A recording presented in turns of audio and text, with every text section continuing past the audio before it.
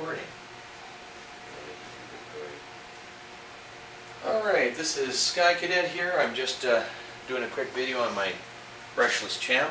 Uh, I'm just going to give a little zoom in here. As you can see here, it's already turned on, uh, paired to my uh, DX6i. And uh, this has got a pretty torquey little motor. It's pretty tough on there. Got it set for just uh, uh, the defaults on the um, ESC. A little louder than I like, but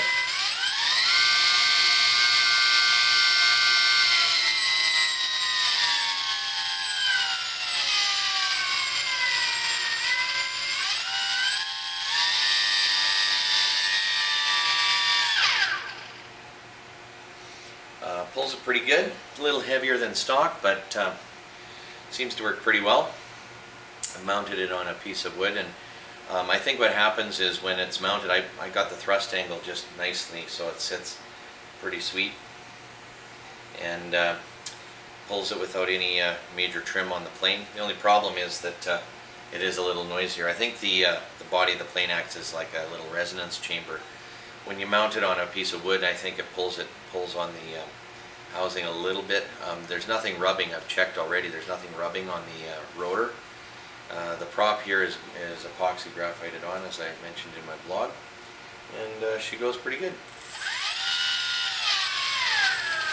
I can run her pretty slow too. See, this is barely running, but I can run her pretty slow. Or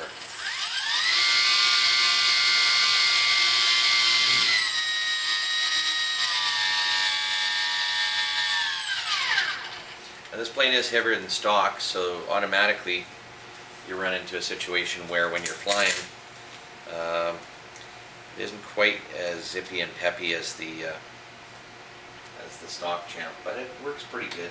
Uh, I haven't had a chance to really do a lot of stuff with it yet. Still getting the uh, balance and trim out, but anyway, um, I always wanted to have one, and uh, so now we've done it. Just got spare parts and put it together with the uh, with the uh, AR6400 and I just cross-channeled using my DX6i the uh, rudder and aileron. So there you go. You could put a two-bladed prop. Um, I just wasn't a big fan of the two blades. Uh, I've been running three blades on all my other micro champs. Um, I'm just going to do a little close-up here so you can see how I mounted it. It's pretty much flush to the uh, pretty much flush to the uh, front of the plane there, and I've got good prop clearance, so I don't have to worry about it chewing into the uh, the front of the cowling and stuff. Little bit of white glue just to uh, just coat it on all the surfaces. Yeah, it does add about a gram of weight, but it really reinforces it nicely.